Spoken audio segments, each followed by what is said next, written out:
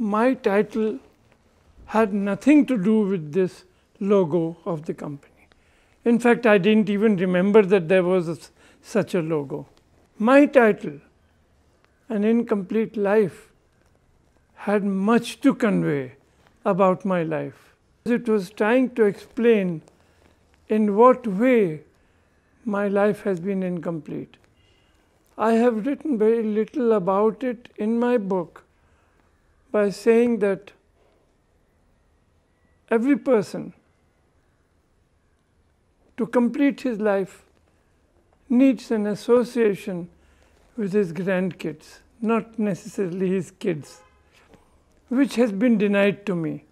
My grandkids have been forbidden to see me. It has nothing to do with the logo of the company. In fact, I swear to you, I did not even remember that there was a title logo of an, a complete man. But once you talk about it, of course, I remember it. But it had nothing to do with that because the subject is not the same. A complete man, from Raymond's point of view, is to define that the clothing that we are providing you make you a complete man.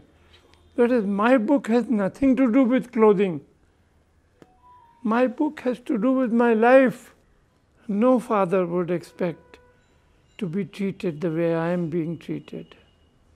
Nobody would. Even you wouldn't.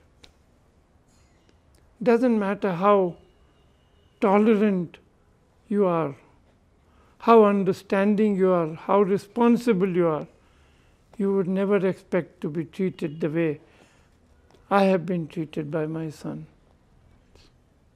He prefers to live in a 36 story building alone. And he promised this to me in writing and my two nephews that he will give us accommodation there of the same size as we had in the old JK house. What happened? I never expected a Singhania to behave like this. And that also my son. That's what makes my life incomplete. I have written that in my book also.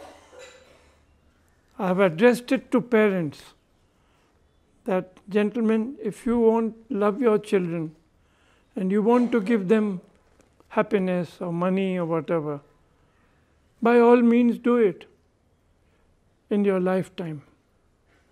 But what you will give them beyond their immediate requirements, presumably after your death, don't give it today. Put it in your will. They will get it after you're dead. They won't be able to put you on the road. So, this is my advice to you, my experience of my life. Never give what ought to be given after your life during your life, because then you are left with nothing.